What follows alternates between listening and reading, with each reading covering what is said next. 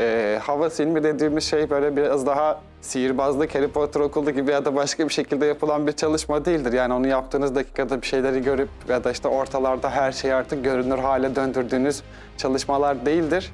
Ee, en temelinde aslında biraz daha buraya doğru insanın işte o beş duyusunun ötesinde bir şeyleri yönetebilmesiyle alakalı yaptığı çalışmalardır. Örnek veriyorum işte iyi bir yüzücü, iyi bir dalgıçsa artık suyun altını görmek gibi ya da oradaki gizemleri keşfetmek gibi bazı yolculuklara yetenek kazanmış oluyor. Ee, ikinci noktada işte aynı şekilde bunların içerisinde bunu beş duyumuzun ötesinde bazı çalışmalar vardır ki bazı işte fizik ve fizik ötesi diye ikiye ayırdığımız kısımlar vardır. Fiziğin tamamını, bütün madde aleminin tamamını ee, yine aynı şekilde fizik unsurlarıyla yani görerek ya da duyarak ya da işte bir şekilde onlar dokunarak yaşayabiliyoruz ama metafizik dediğimiz kavram ki bunun içerisinde en basit basamağında rüyalar vardır. İkinci ve üçüncü basamağında artık sezgiler ya da işte altıncı his diye bahsettiğimiz kısımları işin içerisine girmeye başlar. Merhaba arkadaşlar, Zeytalk kanalında ben Esat Yalçın. Ee, bugün sizlere biraz daha aslında çok sorduğunuz sorularla alakalı e, küçük bir bilgilendirme yayını yapacağım. Bunlardan bir tanesi havasla alakalı çok fazla soru geliyor. Havas ilminin ne olduğuyla alakalı çok soru geliyor. Ee, havas ilmi sadece cinlerden ibaret bir şey mi diye e, sorulan sorular var. Üçüncüsü de e, bu ilmi öğrendiğim dakikada işte herhangi bir şekilde şeytan ya da başka bir şekilde bir varlıkları görüyor muyuz? Bunlardan rahatsız ediliyor muyuz diye sorular geliyor. E, bunları aslında birçok yayında, birçok yaptığım işte e, röportajlarda ya da eğitimlerde çeşitli şekillerde bilgilendirmeye çalışıyorum. E, hava silmi dediğimiz şey böyle biraz daha e, sihirbazlık, Harry Potter okulu gibi ya da başka bir şekilde yapılan bir çalışma değildir. Yani onu yaptığınız dakikada bir şeyleri görüp ya da işte ortalarda her şeyi artık görünür hale döndürdüğünüz çalışmalar değildir. Ee, en temelinde aslında biraz daha buraya doğru insanın işte o beş duyusunun ötesinde bir şeyleri yönetebilmesiyle alakalı yaptığı çalışmalardır. Ben neden hava silminin içerisinde bunları yapıyorum ve hatta işte yeraltı ile alakalı e, e, mağara araştırmalarıyla alakalı yaptığım çalışmalarda bunun nesini kullanıyorum. Biraz daha aslında beş duyudan ötede yaptığımız bir e, yolculuk olduğu için karanlığın içerisinde veyahut da işte insani bazı şartları zorlayarak yaptığımız yolculuklar olduğu için e, bunu bir şekilde aslında gördüğümüz ya da yaşadığımız şeyleri tariflendirmek için temelde uyguladığımız bir eğitim ya da temelde uyguladığımız bir e, teorik bilgiler topluluğu olmaya başlıyor. O yüzden hava silminin içerisinde Türkiye'de çok fazla yanlış bilinen e, doğrular var. E, doğru olmayan ama tamamen aslında doğru olarak kabul edilen bazı şeyler var ki bunlardan bir tanesi de bu iş kesinlikle e, işte büyü veyahut da sihir gibi çalışmalardan olan bir ilim değildir.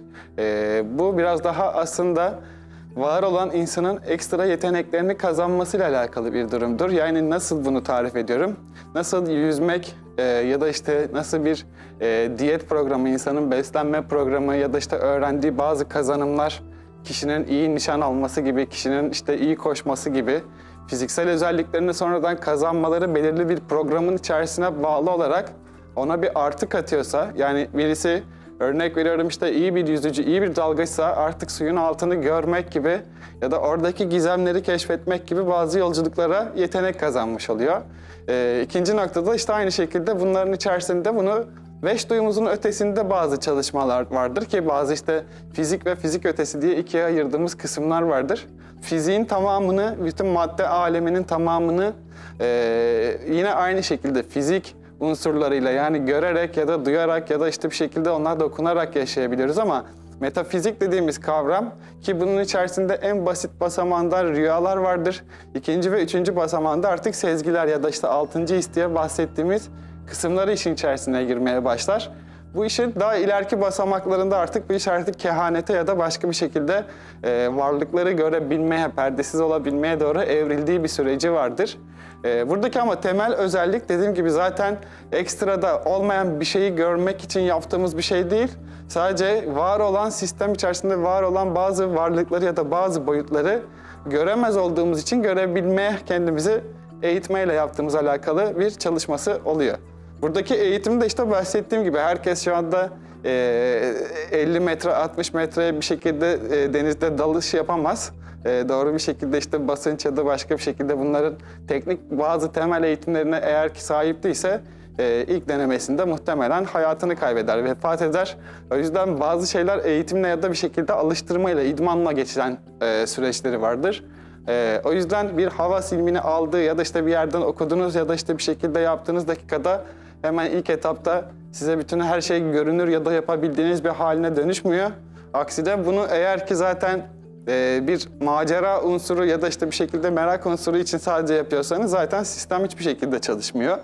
İkinci noktasında artık bu e, bizim biraz daha havas dediğimiz öğretinin içerisinde artık İslamiyet'te diyoruz ki metafizik yani bütün aslında sürecin içerisinde işleyen arka plandaki fizik ötesi sistemi tariflendirmekle alakalı bir alan oluyor ki e, geniş başlıklı bir ilimdir. O yüzden bunun altında işte kendine ayırdığı başka alanları vardır. Bunlardan bir tanesi bizim astroloji diye bahsettiğimiz felekler kısmıdır. Gezegenlerle alakalı bir durumdur.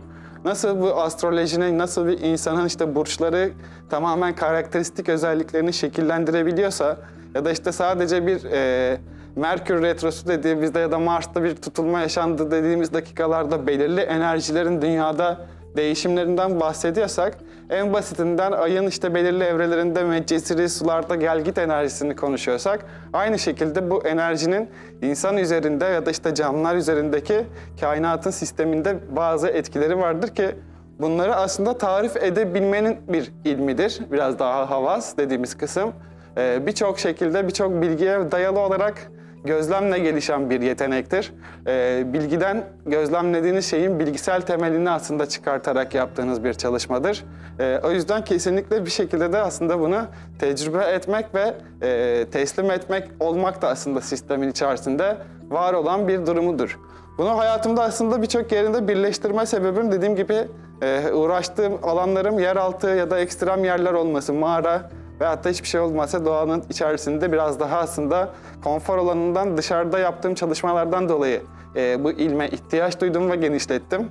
E, bazı insanlar bazı yaptığı çalışmalarda e, hiçbir çalışma yapmıyorsa da aslında bazı kişiler işte belirli deneyimler, belirli tecrübeler yaşarlar ve bu tecrübelerin ardından e, o kişi ya onu tariflendirebilir ya da işte o kişi onu tariflendiremediği için e, psikolojik bir rahatsızlığa da dönüştüğünü sanabilir ya da başka bir şekilde e, istemediği hallere, istemediği karakter yapısının içerisine bürünebilir. Buna da aslında biraz daha e, dünyadaki birçok insanda görebiliriz. Yani herkes işte bir şeytan ya da cin musallatı üstünde midir? Evet kesinlikle aslında belirli dozlarda öyledir. Kimileri sadece bunu bedeni kontrol edebiliyordur, kimisini de edemiyordur ki o artık başka bir insana, nefsinin dediklerini uygulayan bir insana dönüşmüştür. O yüzden burada aslında gerçekten bir somut olarak bir ilmi ve bilmi konuşuyoruz. Ee, farklı varlık türlerini konuşuyoruz. Aynı hayvanlarda, bitkilerde var olduğu gibi insanlarda da aynı şekilde ırksal, gensel özellikler olduğu gibi işte e, Adem soyundaki işte cüceleri, devleri konuşmamızdan tutun veyahut da şu anda işte e, bir güneyli, kuzeyli ya da işte bir şekilde doğulu, batılı diye belirli görünüş özelliklerimizin bile değişiyor olmasında aslında bazı şeyleri konuşuyoruz. Onlarda da aynı şekilde bazı kabileler ve bazı dış görünüşlerini ya da yaptıkları etkileri ya da buradaki boyutlarını bir şekilde somut karşılıklarını konuştuğumuz bir yer oluyor. Bu da aslında en çok karşılaştığımız iki farklı senaryo var. Bunların bir tanesi işte gökyüzünde aslında gözlemlerini yapıp e, bazı hikayelerle karşılaşıyoruz ki uzaylı fenomenleri aslında bir yerde belirli noktalarda bunların içerisinde. İkinci noktada da işte yer altında aynı şekilde e, yerin altına doğru yaptığımız o yolculukta başka varlıkları tanımlamaya başlıyoruz. O yüzden yaptığımız bütün o çalışmalar akademik bir işte yeraltı araştırması ya da başka bir şeyin ötesinde ilim noktasında da desteklenmesi gerekiyor ki e, gördüğümüz şeyleri biraz daha yok saymayalım, tariflendirebilelim. E, ya da ne olduğunu anlamaya işte biraz daha gücümüz yetsin diye aslında yaptığımız bazı çalışmalar oluyor. Yaptığımız bütün çalışmalarda aslında iki noktada ilerlemek e, birinci temelimiz oluyor. Bunlardan bir tanesi akademik ve bilim gözleminde, ikincisi de e, biraz daha inanç ve o felsefi kısımları tanımlama gözleminde yaptığımız çalışmalar oluyor. E, yakın sürelerde inşallah iki yönden de yaptığımız güzel keşifler ve güzel bulgularla tekrardan sizlerle alacağız. Beni dinlediğiniz için teşekkür ederim.